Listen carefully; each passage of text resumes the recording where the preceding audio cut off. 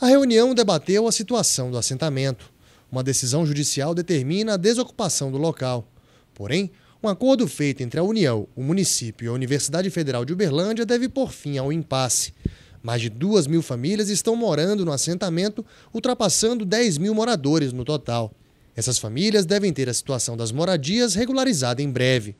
Falta apenas a confirmação desse acordo por parte do governo federal. O que se trata é de uma, de uma solução que foi construída por meio de acordo entre importantes órgãos do Estado brasileiro, incluindo aí o Ministério Público, a reitoria, a universidade, a prefeitura, e que agora nós chegamos num consenso para que se possa aqui ser instalada uma unidade de, de habitação popular por meio do programa Minha Casa Minha Vida da Presidência da República e nesse instante nós necessitamos apenas da chegada dos recursos do Ministério da Educação para promover o devido ressarcimento à área que pertencia à universidade. Não, o importante é que o acordo está feito.